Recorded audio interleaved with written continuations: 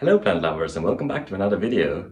In the last video in this series I showed you how I took a seed from this pine cone and I planted it and I made a little pine tree and this is what it looks like now.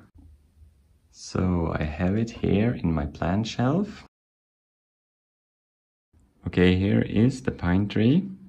It's been four and a half months since the last video and as you can see it hasn't grown very much but I suspect this is a slow growing species.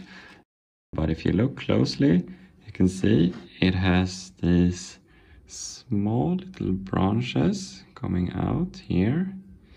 I will give it a little turn. Right now it kind of looks like just a ball of uh, spikes.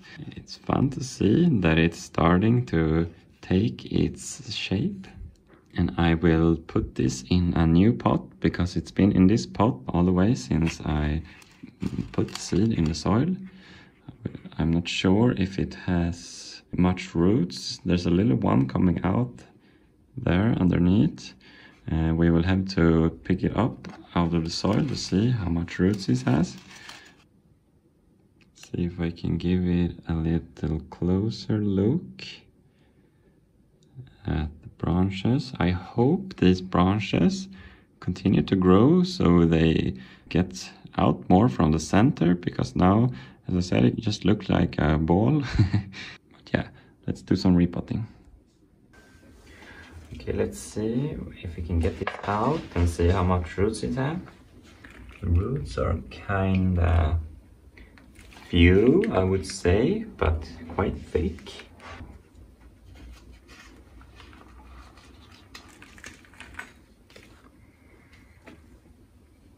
Okay.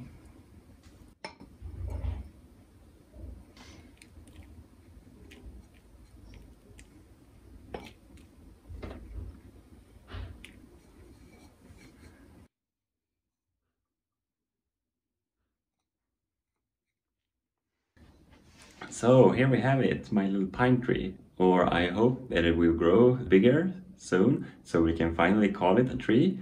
But it seems like this is a slow grower and that is okay because it seems to be doing fine uh, by the look of it. I will put it here in the plant shelf.